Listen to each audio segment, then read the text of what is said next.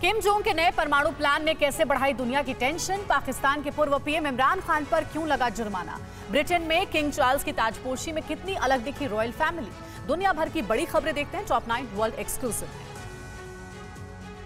Papua New Guinea भूकंप के तेज झटकों से दहल उठा। रिक्टर स्केल पर भूकंप की तीव्रता सात दशमलव सात नापी गई है। स्थानीय समय के मुताबिक सुबह पाँच बजकर सोलह मिनट पर भूकंप के झटके महसूस किए गए। भूकंप से भारी तबाही की आशंका ज़ाहिर की गई है। वहीं सुनामी की लहरें उठने की आशंका ज़ाहिर की गई। है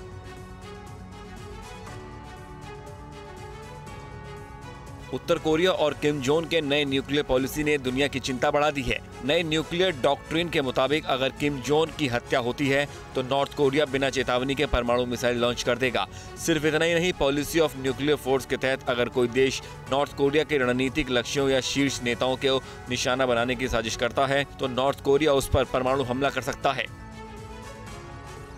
इनके छोटे बच्चे रहते हुए भी ये हर महीने पचास हज़ार कमाती हैं। घर से ही कैंडल मेकिंग बिज़नेस करती हैं।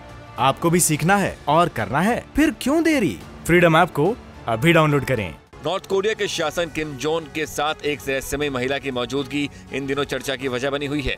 पिछले कुछ महीनों में ये महिला साय की तरह किम जोन के साथ देखी गई है। प्योंगयांग में आयोजित चौहत्तरवें राष्ट्रीय दिवस कार्यक्रम के दौरान भी इस महिला को किम जोन के साथ देखा गया था। इस दौरान महिला के हाथ में एक हैंडबैग था। रिपोर्ट के मुताबिक इस बैग में उत्तर कोरिया के न्यूक्लियर डॉक्ट्रिन को लेकर किम जोन का भाषण रखा गया था। आशंका जताई जा रही है की ये महिला किम जोन की बहन किम यो जोंग की जगह ले रही है। कैलिफ़ोर्निया के सैन डियागो में एक विमान रनवे पर फिसल गया। नेवल एयर स्टेशन पर ट्विन इंजन विमान रनवे से फिसल कर बाहर चला गया। हादसे में विमान के अगले हिस्से को नुकसान पहुँचा है। गनीमत ये रही है कि इस हादसे में पायलट और यात्री सुरक्षित प्लेन से बाहर निकल गए। जिस वक्त ये घटना हुई, उस वक्त सेंडियोंग में भारी बारिश हो रही थी। शुरुआती जाँच में माना जा रहा है की खराब मौसम की वजह से पायलट को विमान की लैंडिंग में परेशानी हुई। फ़िलहाल मामले की जाँच जारी है। बाढ़ और भुखमरी से बेहाल पाकिस्तान को संयुक्त राष्ट्र से मदद की उम्मीद है। पाकिस्तान में बाढ़ बारिश से अब तक करीब 1,400 लोगों की मौत हो चुकी है 13,000 से ज़्यादा लोग घायल हैं जबकि लाखों लोग बेघर हो गए। इस बीच संयुक्त राष्ट्र संघ के secretary general Antonio Guterres Pakistan दौरे पर हैं।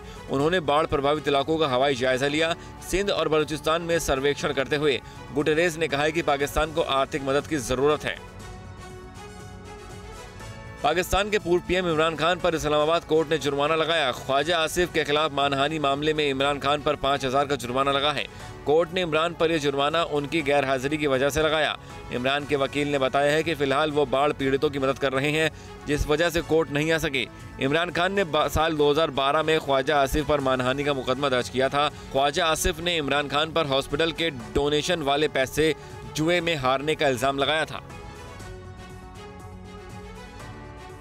किंग चार्ल्स की ताजपोशी में ब्रिटेन का रॉयल परिवार एक साथ होकर भी बिखरा हुआ नज़र आया। विंडर्स में प्रिंस विलियम्स और प्रिंस हैरी के बीच दूरियाँ देखी।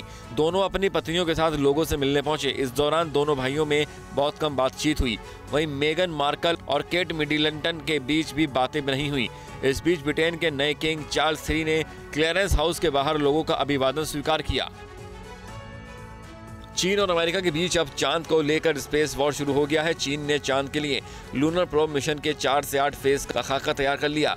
अगले दस साल में सभी फ़ेज़ को अंजाम दिया जाएगा। इसके तहत चाँद के दक्षिणी ध्रुव क्षेत्र की जानकारियाँ जुटाई जाएँगी। साथ ही इंटरनेशनल लूनर रिसर्च स्टेशन भी बनाया जाएगा। चीन के नेशनल स्पेस एडमिनिस्ट्रेशन ने इस प्लान को मंजूरी दे दी है। आज अमेरिका में हुए सबसे बड़े आतंकी हमले की इक्कीसवीं बरसी है। वर्ल्ड ट्रेड सेंटर पर 11 सितंबर 2001 को हमला हुआ था जिसमें 2,977 लोगों की मौत हो गई थी। वहीं न्यूयॉर्क की पहचान ट्विन टावर ध्वस्त हो गया। अमेरिकी राष्ट्रपति जो बाइडन नौ ग्यारह की इक्कीसवीं बरसी पर पेंटागन में जान गंवाने वालों को श्रद्धांजलि देंगे जबकि उपराष्ट्रपति कमला हैरिस न्यूयॉर्क में नेशनल मेमोरियल जाकर श्रद्धांजलि अर्पित करेंगी। इनके छोटे बच्चे रहते हुए भी ये हर महीने पचास हज़ार कमाती हैं। घर से ही कैंडल मेकिंग बिज़नेस करती हैं।